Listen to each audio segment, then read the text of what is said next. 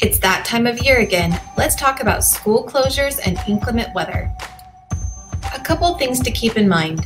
Schools impacted by extreme weather conditions will close on a school by school basis. But whenever it is possible, schools will continue as scheduled. You may wonder how you will find out if schools are closed for the day.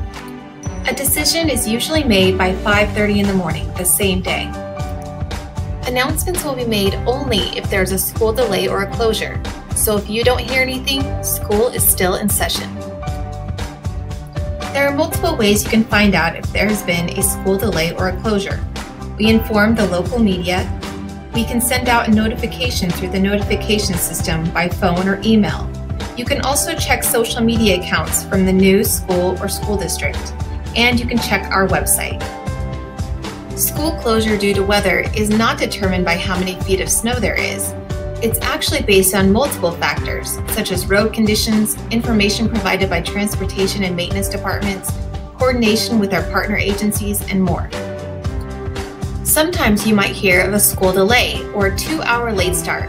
That just means that school would start two hours later than normal. In this situation, kindergarten classes would not be held. Road conditions can vary throughout the county, so, if buses cannot run to certain schools, then the affected students would be excused for the day.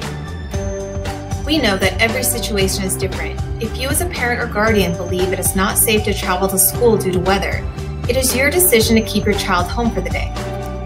If you decide to keep your child home, don't forget to let the school know so they can excuse them for the day. The guidelines for emergency closures can be found at www.tooeleschools.org under the Board of Education Board Docs. If you have any questions, we encourage you to contact the school or district office, and we'd be happy to help.